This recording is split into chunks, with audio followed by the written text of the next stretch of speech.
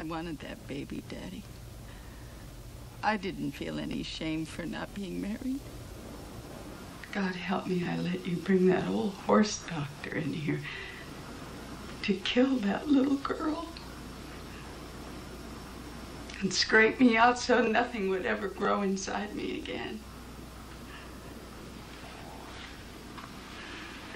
What happened that made you so hard? What you?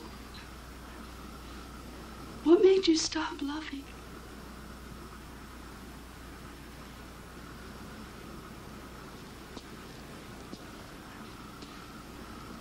Daddy, you drove us all away from you. All of us. Mama into her silence, where she stayed until she died of grief. Sam to Vietnam, where they killed him.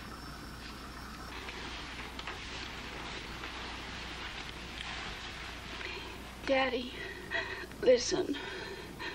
I want you to know that I still love you. And I can help you now. Honest, I can. I know that you know you're dying. And I know that you're afraid, but you don't have to be. See, when I had that accident, I died. I mean, just for a few minutes. But I saw it. And it's beautiful.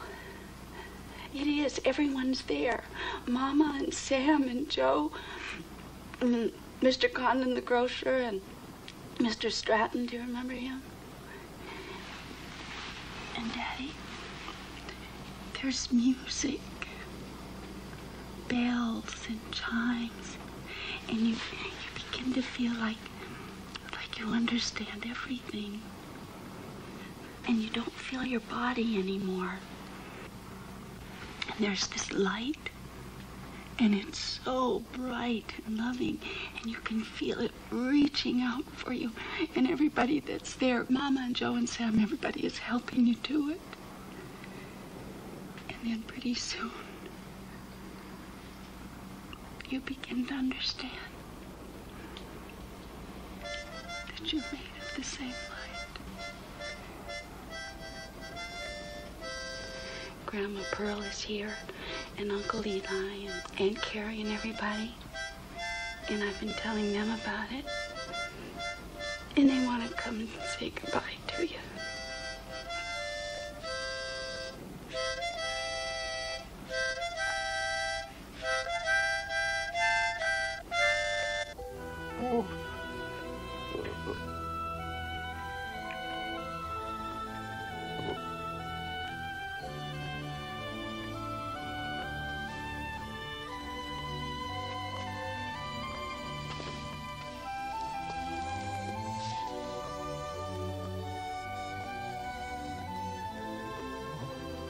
What is it, Daddy?